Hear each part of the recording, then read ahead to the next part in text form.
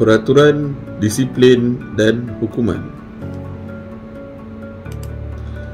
Secara umumnya, semua pelajar politeknik adalah tertaluk pada Akta 174 iaitu Akta Institusi Institusi Pelajaran ini 1976. Okay.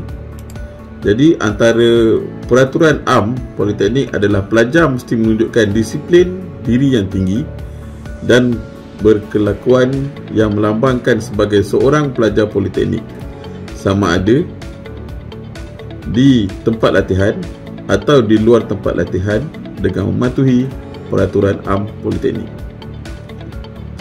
Jadi walaupun anda menjalani latihan industri, anda sebenarnya terikat dengan peraturan-peraturan sebagai pelajar politeknik. Cuma uh, anda tu tidak berada di politeknik, jadi mungkin ada um, kaedah pemakaian ataupun kaedah dress code yang uh, tidak di uh, ada kelonggaran di firman tersebut anda kena patuhi. Begitu juga contohnya uh, jika anda berada di kilang okey anda kena uh, patuhi juga peraturan-peraturan syarikat. Anda kena pakai uh, body suit ataupun uh, kalau macam kilang-kilang elektronik yang sangat uh, mementingkan uh, kebersihan ataupun uh, ataupun tempat-tempat yang uh, perlukan anda bekerja tidak uh, memakai pakaian yang uh, spesifik. Contoh macam anda terlibat dengan kerja-kerja uh, pendawaian. Jadi mungkin syarikat tu benarkan anda berpakaian biasa. Seluar jean, seluar jean t-shirt. Jika uh, syarikat itu benarkan uh, anda boleh berbuat demikian ya. cuma jika pensyarah pemantau datang untuk memantau anda anda perlu berkelakuan ataupun memakai pakaian seperti mana pelajar politeknik balik. Okey. Uh, saya harap anda faham. Okey. Uh, ada kes pelajar uh, mewarnakan rambut. Eh, contohnya mewarnakan rambut. Uh, syarikat memang uh, benarkan bagi dia tiada isu untuk pelajar mewarnakan rambut. Eh, jadi ada pelajar lelaki dia warnakan rambut dia perang. Ada juga pelajar perempuan yang mewarnakan pelajar bukan Islam yang mewarnakan rambutnya uh, dan syarikat memberi izin.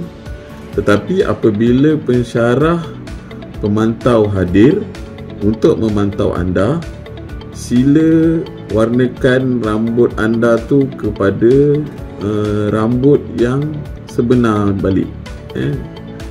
Maksudnya seperti mana keadaan asal rambut anda kalau hitam hitam lah eh. Uh, okey. Uh, begitu juga penampilan anda okey. Mungkin ada pelajar yang um, dia memang tidak uh, tidak berhijab. Okey dan uh, di luar di firma tiada uh, peraturan khas untuk berhijab. Jadi anda tidak berhijab. Tetapi uh, apabila pensyarah pemantau hadir uh, memantau anda anda perlu berhijab semula lah okay? seperti mana yang diperuntukkan oleh peraturan am politeknik pelajar muslim uh, wanita perlu berhijab. Okey. Baik bagaimana jika anda mem- memakai pakaian beruniform uh, kilang contoh?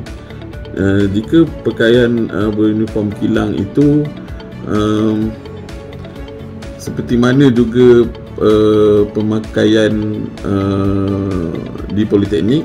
Jadi tidak perlulah memakai pakaian uh, uh, bolehlah pakai uh, uniform tersebut. Ok okey.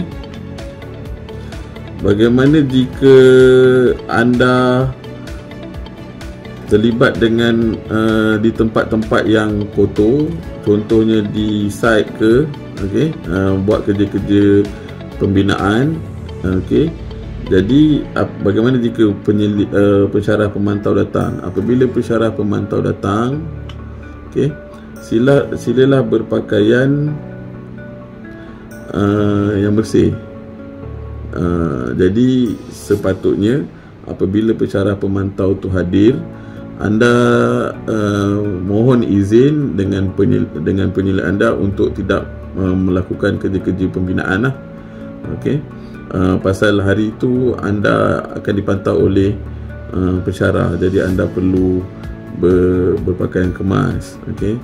Uh, tapi pensyarah uh, jika anda tak dapat tak dapat nak elak uh, pensyarah uh, okey je eh, syarat tiada halangan. Uh, dah memang itu tugas uh, rutin awak okay. cuma kalau jika dapat berpakaian kemas uh, itu sebaiknya lah okay, apabila dipantau. Teruskan. Peraturan sebelum LI telah uh, dimaklumkan sebelum ni perlu mendaftar uh, khusus LI menghadiri semua taklimat memohon dan mendapatkan tempat LI mengikut bidang membuat pembatalan secara rasmi dengan persetujuan LI jika uh, terlalu lama uh, respon ataupun anda mohon lebih okay. tidak menukar atau menolak tawaran dan memalsukan tidak dibenarkan memalsukan sebarang uh, maklumat okey peraturan semasa LI mematuhi segala peraturan politeknik dan organisasi melapor diri pada tarikh dan masa yang ditetapkan menjalani latihan industri latihan industri sehingga tamat tidak menukar tempat tanpa kelulusan. Uh, mengisi dan menghantar borang yang berkaitan uh, tanpa sebarang pemalsuan dan sentiasa memaklumkan sebarang maklumat peribadi uh, perubahan mak- maklumat peribadi kepada pihak UPLI dan sentiasa menjaga kerahsiaan kerahsiaan uh, organisasi.